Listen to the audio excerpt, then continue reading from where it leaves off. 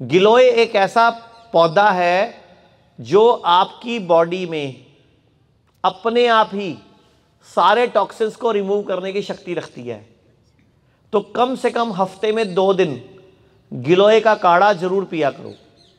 गिलोय, दालचीनी, सौंफ, तुलसी, लौंग, ये डाल लो। गिलोय ज़्यादा, बाकी थोड़ा थोड़ा दालचीनी, छोटी इलायची, सौंफ, तुलसी थोड़ा थोड़ा गिलोय की डंडी को काट काट के चार पाँच टुकड़े करके उसके टुकड़े डाल दो और उसको उबाल के काढ़ा बना के, क्योंकि गिलोय को अमृता कहा गया है, यानी कि आपको अमृत प्रदान करने वाली। तो अमृत पीने के बाद तो इंसान की शक्ति बढ़नी है ना तो वो कौन सा औषधि होगी? गिलोय। अच्छा दूसरे हाथ में क्या था भगवान धनवंतरी के? एक हाथ में अमृत है, दो हाथ तो उनके आठ हाथ है ना? तो दो हाथ में अमृत है, एक हाथ में गिलोय है, एक हाथ में क्या है? बताओ। पौधा एक ही है गिलोय हो गया। अब क्या है? उनके हाथ में एक जीव है, जीव। एक जीव है। हिंट दे दिया मैंने आपको। वो जीव क्या है?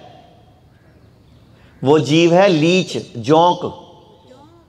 जोंक सुना है ना जोंक? लीच। खून चूसने वाली। गंदा खून चूस, वो सही खून नहीं चूसती वो कभी भी। वो हमेशा गंदा खून टॉक्सीनेटेड ब्लड चूसती है। तो अगर किसी को भी शरीर में कहीं गांठ हो जाए, खास तौर पे ब्रेस्ट, गला, लोग कैंसर से मर रहे हैं ना आजकल। कैंसर से नहीं मर रहे हैं, कैंसर के इलाज से मर रहे हैं। कैंसर का सबसे बढ़िया ट्रीटमेंट जोंक है। जिस जगह पे कैंसर की गांठ है, वहाँ पे जोंक लगा दो।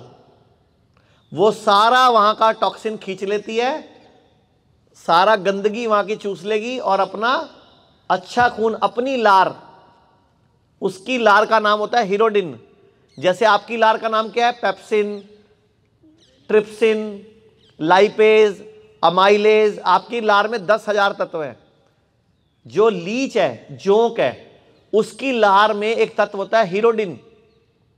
अमेरिका में कैंसर पेशेंट को इम्यूनोथेरेपी की एक सिटिंग हीरोडिन की एक लाख की मिलती है। कितने की? एक लाख की एक थेरेपी है अमेरिका में। इम्यूनोथेरेपी में, कैंसर के ट्रीटमेंट में हीरोडिन थेरेपी दी जाती है। अब वो हीरोडिन निकालते कहाँ से हैं? वो लीच से निकालते हैं। लीच की लार होती है वो। और कितने की बेच रहे हैं वो? और तुम्हारे यहाँ धक्के खाती है वो। तो भारत में जितने आयुर्वेद के सेंटर है, पंचकर्म सेंटर्स, सबके पास लीच होती है, वो पालते हैं उसको। ये लीच, वो गंदे पानी वाली लीच नहीं होती है, ये अलग तरह की लीच होती है। ये पाली जाती है।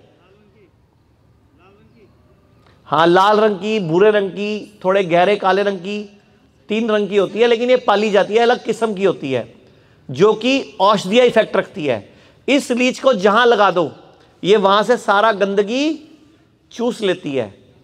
तो कैंसर की गांठ खत्म कर देगी कि नहीं?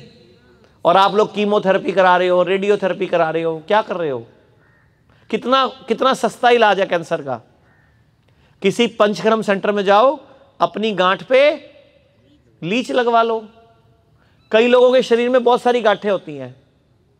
है ना? कईयों के लाइपोमा होते हैं। यहाँ भी यहाँ भी, कई गांठें होती है बॉडी में। मेरे पास एक बच्चा आया था अभी थोड़े दिन पहले, उसकी बॉडी में कम से कम सौ गांठें थी।